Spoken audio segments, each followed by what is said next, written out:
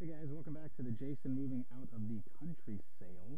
This is my six drawer um, dresser and it's very nice, very dark brown. If it looks black in this video, it's because I don't have my lighting kit in here to light it up.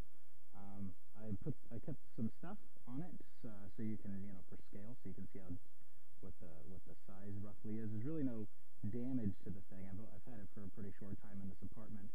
Um, all the drawers work really well, and yeah, as you can see, we've got a survival kit and a go bag up here. Uh, everybody should have one ready to run out with all your ammo. Um, oh, here's another thing. This big old safe. You're going to spine this also. This is my gun safe for my AR-15 and all kinds of other fun things. If you're looking for stuff like this that you can bolt, it's pretty big, to your wall in your room, we'll also have that for sale.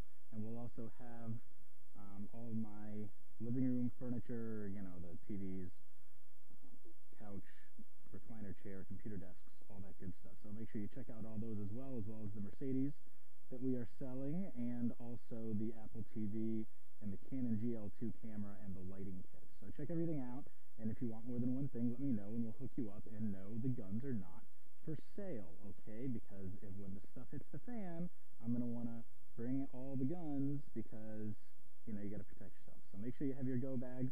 If you don't have anything like that, um, look it up online. Get it. It's for your safety take my word for it. Bye.